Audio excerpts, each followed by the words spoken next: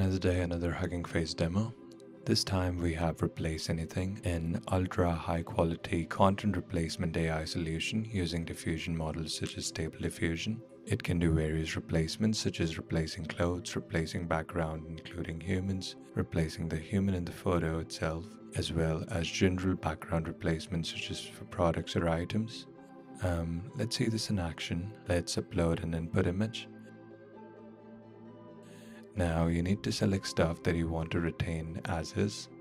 So this segments all the skin. I'll also select the hair and it ended up selecting everything. Let us try this in reverse. The hair first and then the skin. And uh, now that everything is selected properly, I'll enter the prompt and press run. Uh, and not exactly what I was looking for, but still pretty good. It gives you four prompts to choose from. Let's change the prompt a bit and try again. And here are the results. Now let's do it for an object.